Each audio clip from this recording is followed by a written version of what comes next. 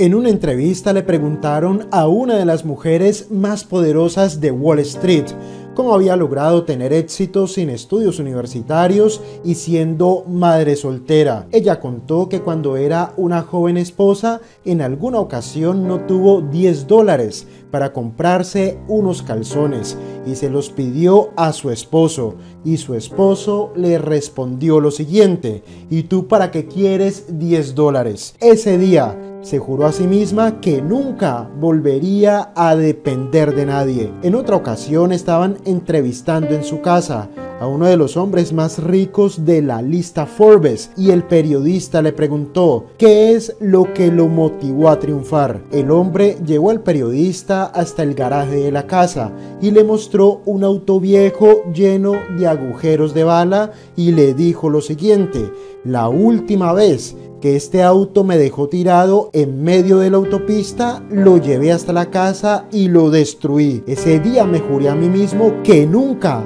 volvería a conducir una porquería como esa. Yo personalmente comencé a prosperar cuando alguna vez tuve que limpiar el baño de una oficina. Ese día juré que nunca volvería a realizar un trabajo en el que me tuviese que agachar o en el cual tuviese que doblegar mi espíritu.